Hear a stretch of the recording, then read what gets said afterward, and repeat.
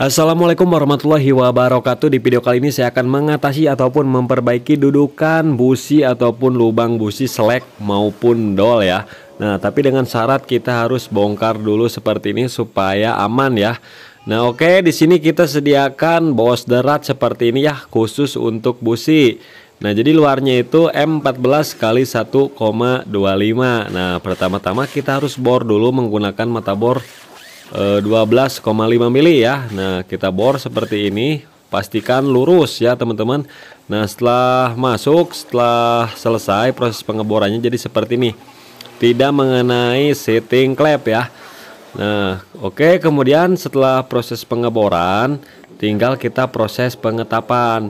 Kita gunakan mata tap M14 kali 1,25 ya menyesuaikan dengan bos derat ataupun bos businya itu sendiri Oke langsung saja kita proses pengetapan seperti ini. Nah jadi di saya kalau mau memperbaiki lubang busi harus dibuka dulu seperti ini supaya aman ya. Kalau misalkan nggak dibuka nanti serbuknya ke mesin ya ke dalam ruang bakar. Takutnya pistonnya baret-baret ataupun linernya baret-baret ya. Tuh teman-teman bisa lihat ya bahwa banyak sekali serbuk-serbuk eh, ancuran ataupun aluminiumnya ketika pengeboran dan pengetapan. Oke, kemudian tinggal kita ganti mata tapnya menggunakan yang tumpul ya. Karena yang tadi itu yang runcing, sekarang kita yang tumpul, kita eh, sampai mentok ke dalam ya. Kalau yang tumpul itu lebih enak buat finishing. Kalau yang runcing itu buat awalan saja.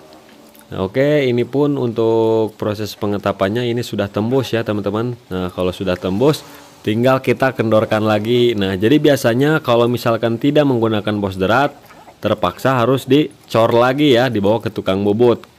Nah, namun di sini kan untuk menghemat waktu biar nggak ke tukang bubut dan hasilnya juga maksimal ya kita gunakan bos derat karena sama saja nanti juga pakai businya tetap yang standarnya ya jadi tidak oversize businya. Oke setelah selesai tinggal kita potong bagian bos deratnya ini. Nah seperti ini ya. Kita gunakan busi bekas. Kita gunakan busi bekas kemudian tinggal kita potong ataupun gerinda ya seperti ini. Jadi kita sesuaikan ya biar nggak masuk ke dalam. Sebetulnya bisa juga metode tuner ya. Kita masukkan aja langsung kemudian sisanya kita tuner bisa cuman di sini biar lebih praktis kita gerinda saja seperti ini. Nah di sini juga saya baru pertama kalinya ya e, mengatasi sendiri untuk baut busi lubang busi yang sudah dol. Kemudian kita gunakan lem besi ya plastik steel supaya lebih erat untuk mencegah kebocoran juga ya. Nah kita lapisi secukupnya saja. Setelah itu kita masukkan sama dengan busi-businya kemudian nanti kita kencangkan. Kencangkan langsung ya sampai kencang sekencang-kencangnya supaya nggak ikut muter ketika keluar lagi. Nah tinggal kita kencangkan saja menggunakan kunci busi kunci 16 karena di tukang bubut yang sudah-sudah juga kalau pasang bos derat mereka pakai lem besi ya teman-teman untuk mencegah kebocoran. Oke, kita tahan kemudian kencangkan sampai mentok, pokoknya sampai kencang aja ya. Nah, oke, setelah kencang seperti ini, nah bisa dilihat di sini. Nah, tinggal kita kasih keling ya. Keling supaya tidak ikut mutar pas ketika dibuka businya. Nah, bisa kita totok seperti ini. Yang penting eh, memperkeras ya supaya tidak terjadi putaran, memutar.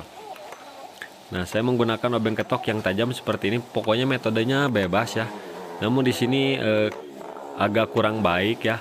Kalau misalkan dicunar itu pasti lebih rapi ya. Jadi nggak perlu digerinda dulu. Tapi nanti untuk ke depannya saya mau langsung dicunar aja. Jadi nggak perlu digerinda dulu supaya lebih rapi ya.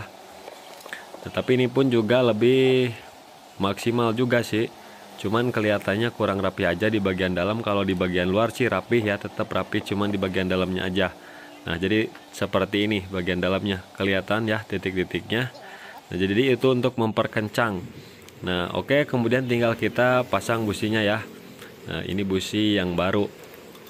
Nah jadi seperti itulah teman-teman tutorial cara mengatasinya. Kita harus bongkar bagian headnya dulu ya supaya aman. Karena kalau tanpa bongkar head nanti serbuknya masuk ke dalam piston. Takutnya lecet-lecet baret bagian linernya. Nah, jadi seperti seperti itulah untuk tutorialnya. Mudah-mudahan bermanfaat.